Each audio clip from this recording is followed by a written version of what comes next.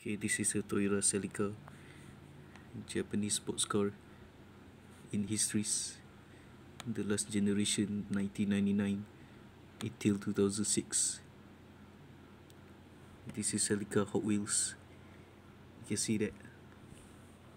It's a Hot Wheels cars. The Hot Wheels, I think. Because this car is now uh, more or less JDM iconic cars in the 90s. Look at this. More better the real car. And this one. Take this car. A long time. Sebab ini lah kita ni. Oh, this is a Celica GTST. Toyota mix over the this sports car mid 2000s and early 90s badass this car so long time car this is a tune Celica this is a couple days ago. Couple years ago.